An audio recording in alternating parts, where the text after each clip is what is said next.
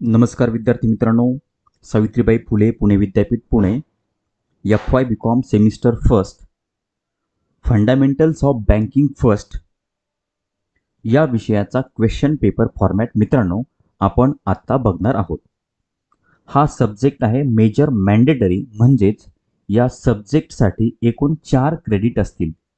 जे minor subject असतात त्यासाठी एकूण दोन क्रेडिट असतात. हा मेजर सब्जेक्ट आहे.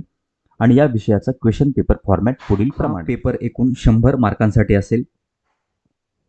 यामध्ये तीस मार्क हे इंटरनल ॲसेसमेंटसाठी असतील आणि सत्तर मार्काचा फायनल पेपर असेल. जो पेपर तुम्ही तीन तास सोडू शकता म्हणजे पेपरची वेळ तीन तास असेल. आता आपण इन्स्ट्रक्शनमध्ये जर बघितलं तर question number first and six are compulsory मित्रांनो प्रश्न पहिला आणि सहावा हा कंपल्सरी आहे. इन्स्ट्रक्शन नंबर सेकंडमध्ये मित्रांनो बघा attempt any three questions from question number two to five दोन ते पाचमध्ये कोणतेही तीन प्रश्न सोडवायचे आहेत.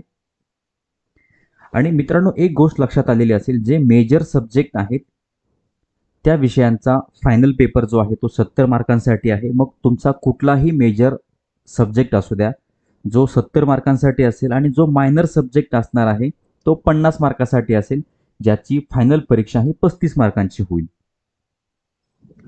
बघ आता या ठिकाणी आपण क्वेश्चन बघूयात. Question number first fill in the blanks हा प्रश्न सहा मार्कांसाठी असेल.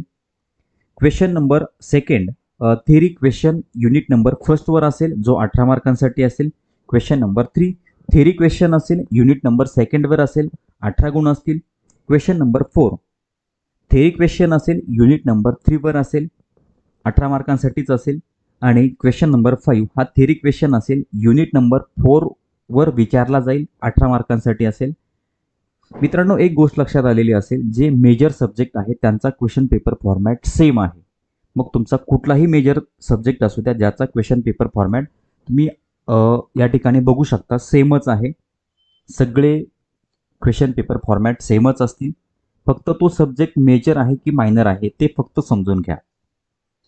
आणि सर्वात शेवटी question number six write short note on all units शेवटचा प्रश्न हा शॉर्ट नोटवर त्या ठिकाणी विचारला जाईल आणि तो चारही युनिटवर विचारला जाऊ शकतो. Any two out of four चार शॉर्ट नोट दिल्या जातील. त्यातल्या कोणत्याही दोन शॉर्ट नोट्स आपल्याला सोडवायचे आहेत.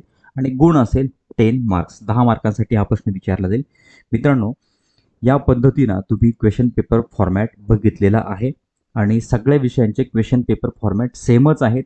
यामध्ये एवढा बदल नाही आहे फक्त मेजर सब्जेक्ट आहे की मायनर आहे त्या पद्धतीनं तुम्ही बघून घेऊ शकता.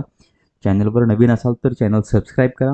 व्हिडिओ आवडला तर लाईक करा कमेंट करून कळवा आणि आपल्या मित्रांना शेअर करायला विसरू नका. धन्यवाद.